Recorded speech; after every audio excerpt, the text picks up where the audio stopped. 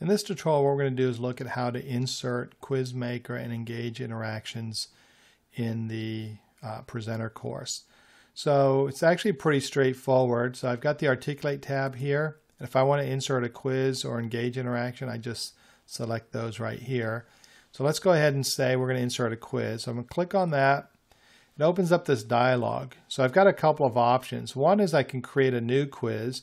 Now, typically, I try not to do that. What I like to do is keep all my media production separate. So if I know I'm going to have a quiz or if I know I'm going to have an engage interaction, what I like to do is build those separately and save them, and then I add those in as existing. And that's just so I don't have multiple applications open. But you can create a new quiz and do everything on the fly. I'm going to go ahead and add an existing quiz. So I'm going to click on that. Uh, that takes me to my practice folder. So I've got my QuizMaker file in here. So my practice quiz, I'm going to insert that. So it's going to insert the quiz and do whatever it has to do um, to get the quiz ready. Uh, you'll notice I've got my quiz. It's on slide five, and you can see I can edit it. Um, and then there's some quiz properties as well. So let's close this.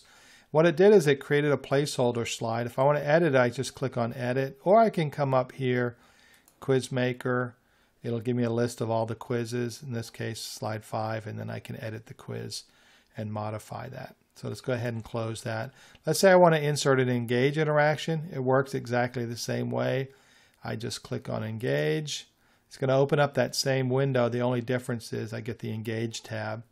And again, you can create one on the fly or add an existing one. I already have one, so I'm going to find that one here, which I think we have. So the accordion demo. So I'm going to insert that. So it's going to go through the same process, get everything prepped so that I can actually see um, the final quizzes and interactions uh, when I do the preview. So if I want to edit it, I can edit that here. You can see I've got some properties here as well. I'll go ahead and hit close. Let's preview these and see what they look like. I'm going to save this first. And we just need to go to preview. So I'm going to preview slide 5 and 6. And I'll show you what's kind of neat about this, and it's a big change from uh, Studio 09. So let's preview the next three slides. So what it's going to do is it's going to build out that quiz preview.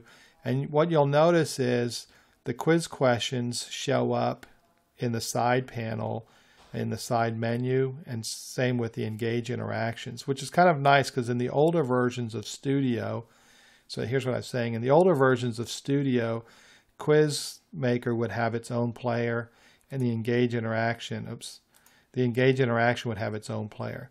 Um, so if we look at the quiz first, you can see I've got my quiz.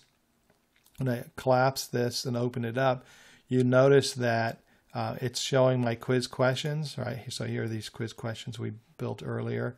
Uh, so you can see it's showing the quiz questions and um, they're all here and I can see if they've been answered or not. So I'm going to go ahead and submit that. Okay, so I see it's marking it right. We'll click on banana and you can see it marked that one wrong.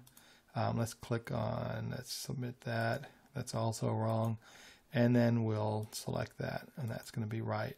So you can see it goes through here. I can see all my quiz questions on the side menu.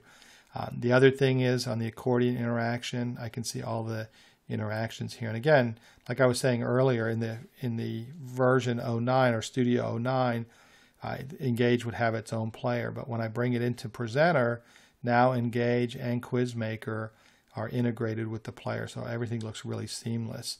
So I've got my introduction. So this is that interaction we built earlier in the demo. And you can see all the interaction panels are here for me to select from. So that's kind of a nice uh, change in uh, Studio 13. So that's basically it. And then at any point, if you want to edit those things, you can click on the slides on these edit options, or you can click up here and do the editing.